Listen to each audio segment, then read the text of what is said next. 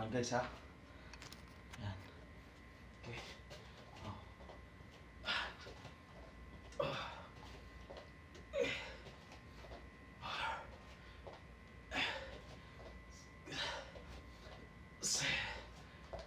Ten.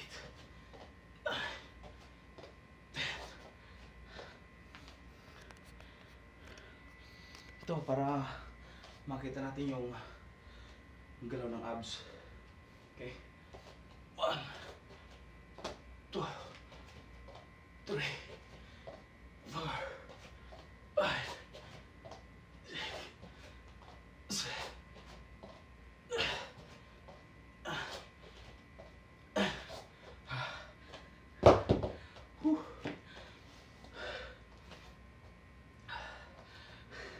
Talaga naman.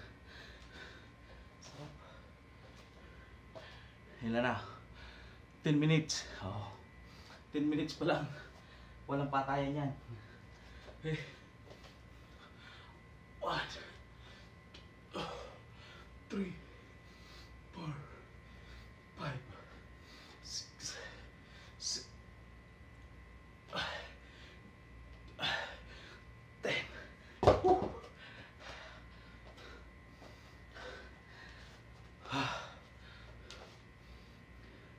Ngayon guys, i-workout na natin tong abs. At the same time, mag-pitik-pitik pa rin tayo sa to upper body. Kasi pangit pag nakikita ko dito sa video, ah medyo na kukulangan yung abs natin. Ah, pag lumiit pa ng konti yan, maganda na.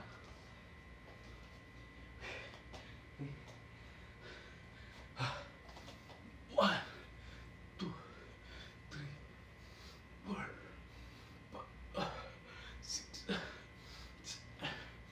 eight, nine, ten. Grabe.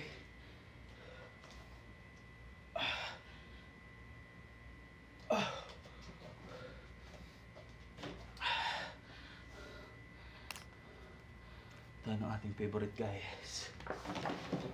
Basta lahat. Focus tayo ng abs.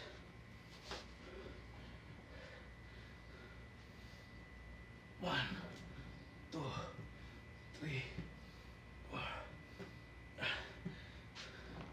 Na siguro kung meron ito.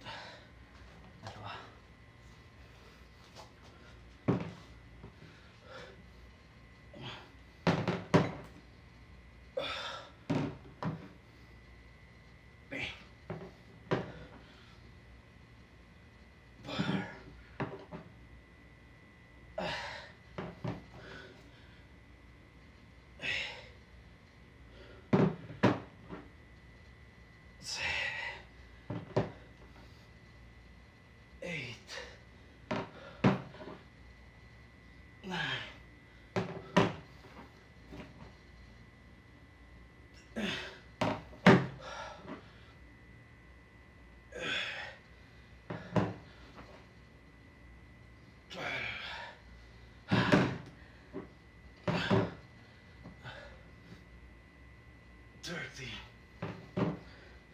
Whew. Oh, see? 13 minutes pa lang. Nag-boast na tayo ng ating abs.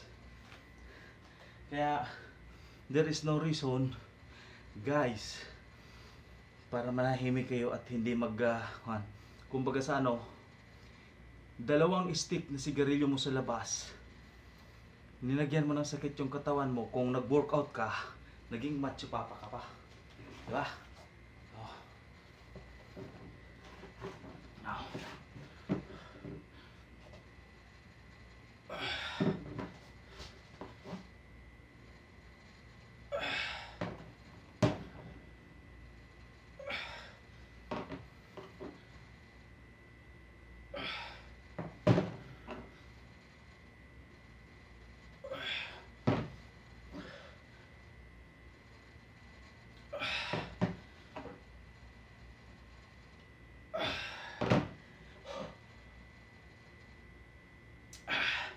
Dapat pala may load.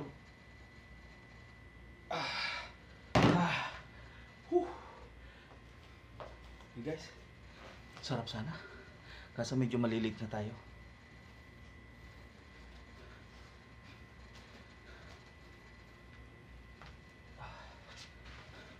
Tayo, oh. 14 minutes lang. Ngayon, workoutin natin tong ating kwan guys. About dun nga pala sa pagkain ko. Ah, Almost one month. Yun lang talaga rice. Ah, kunti lang inavoid ko yung rice. The rest, tirahin nyo, one month.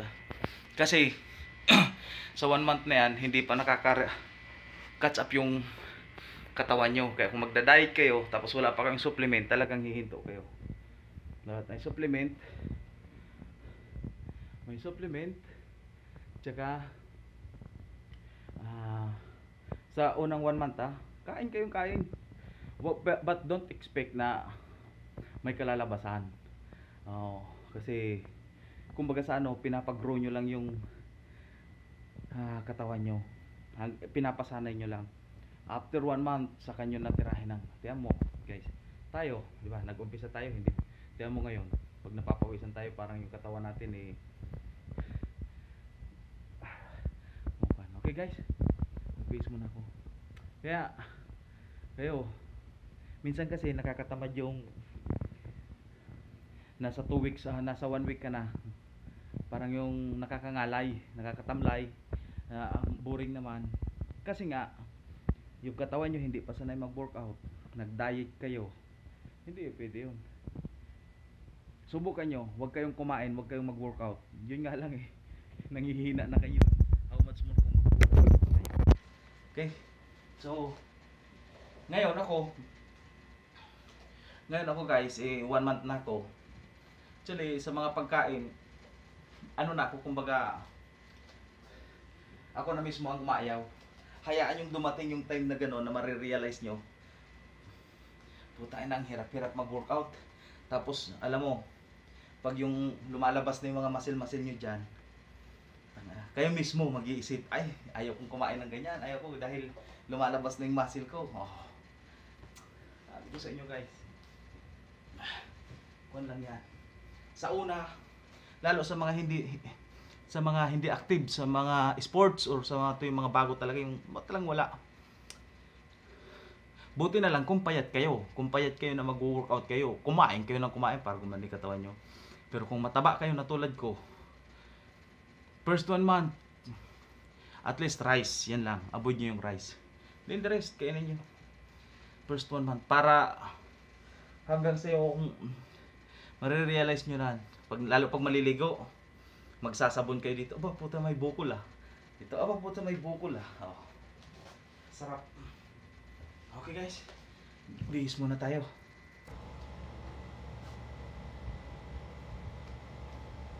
Bihis tayo guys.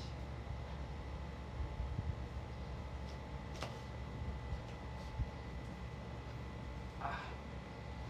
Ah. Wah. Late na yung aking damit ah.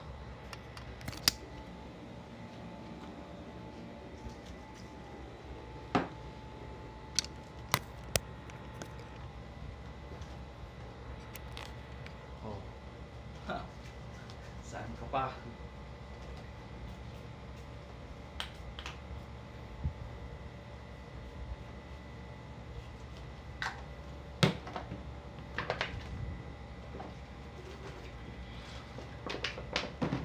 Okay guys, thank you.